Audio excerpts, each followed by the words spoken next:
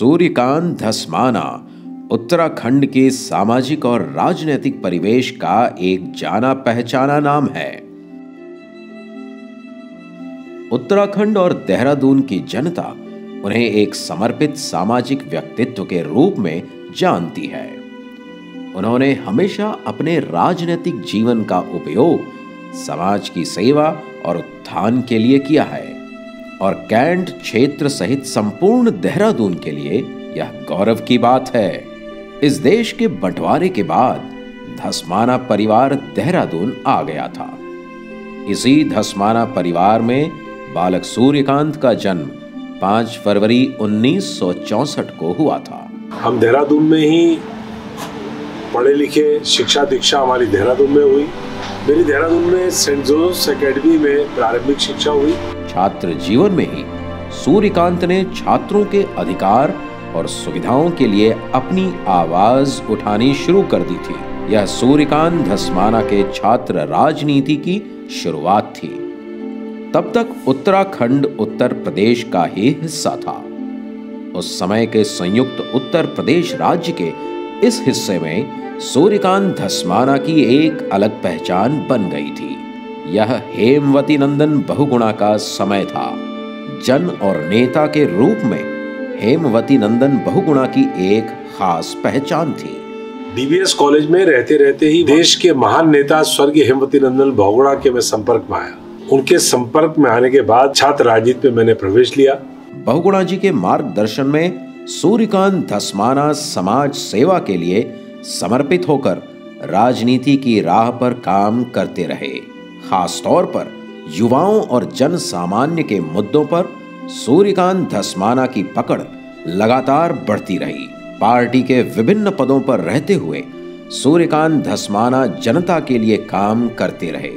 जब उत्तर प्रदेश से अलग होकर उत्तराखंड के निर्माण की बात शुरू हुई तो सूर्यकांत धसमाना को अहम ज़िम्मेदारी दी गई। मेरा ये सौभाग्य रहा कि मैं जो बड़थाल कमेटी थी, उसका ड्राफ्टिंग कमेटी का चेयरमैन था। और उत्तराखंड राज्य की जो पहली रिपोर्ट, जिसके आधार पर कौशिक कमेटी ने उसको अंगीकार करके अपनी रिपोर्ट तैयार की, और उस रिपोर्ट को फिर उत्तर प्रदेश की विधानसभा के पटल में रख करके एक संकल्प पारित हुआ, जो केंद्र को भेजा गया।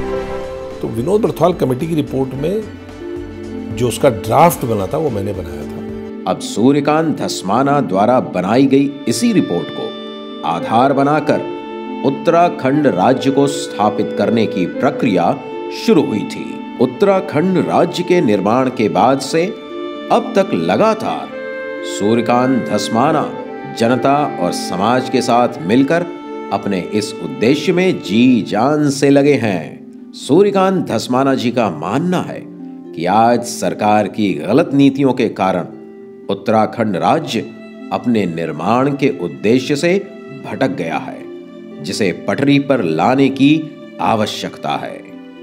सूर्यकांत धसमाना जी के राजनैतिक और सामाजिक सूझबूझ को देखते हुए उन्हें उत्तराखंड प्रदेश कांग्रेस का उपाध्यक्ष बनाया गया है।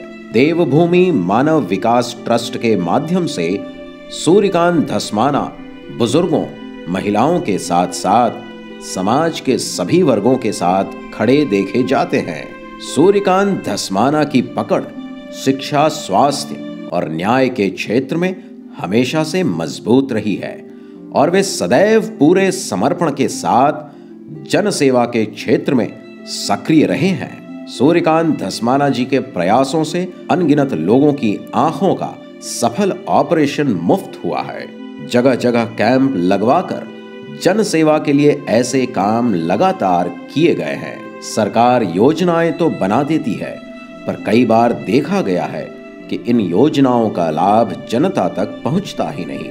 सूर्यकांत धसमाना का यह लगातार प्रयास रहा है कि इन योजनाओं का लाभ जनता को मिले। सूर्यकांत धसमाना के व्यक्तिगत प्रयासों से लगभग 2000 से अधिक बुज़ुर्गों को पेंशन दिलाने और उसे समय से जारी करने के काम को अंजाम दिया गया। जैसे पहला केस रिपोर्ट हुआ, कोरोना का देहरादून में आईएफएस एफआरआई के 15 तारीख को 15 मार्च को और 16 मार्च को खबर चली। मैंने डीएम को फ़ोन किया, सीएमओ को फ़ोन किया, सीएमएस को फ़ोन किया, डॉक्टर सियाना को फ़ोन किया कि मैं गुरु अस्पताल देखने आ रहा हूँ। तैयारियाँ क्या है? सूर्यकांत धसमाना आइसोलेशन वार्ड में घुस गए थे अपने समर्थकों के साथ। उन्हें चौदह दिन तक उनके घर में ही आइसोलेट कर दिया गया है। कोरोना के चलते प्रशासन उन पर निगरानी शुरू कर दी। दरअसल सूर्यकांत धसमाना आइसोलेशन वार्ड में घुस गए थे अपने समर्थकों के साथ। सूर्यकांत धसमाना जी का प्रयास रहता है कि सुविधा और संसाधन का लाभ सामान्य जनता को मिलता रहे ताकि उनके दुख कम हो सके। सूर्यकांत धसमाना के व्यक्तिगत प्रयासों से निरंतर अनाज शॉल कंबल आदि वितरण का काम चलता रहता है। देहरादून से बड़ी खबर लगातार यहाँ पर कोरोना के मामले बढ़ रहे हैं। उत्तराखंड में कोरोना लगातार पैर पसार रहा है। उत्तराखंड में एक बार फिर से कोरोना संक्रमण रफ्तार पकड़ चुका है। अचानक ऑक्सीजन की डिमांड बढ़ी। लोगों का कहने लोग कहने लगे कि साहब ऑक्सीजन वाला बेड दिलवा दीजिए।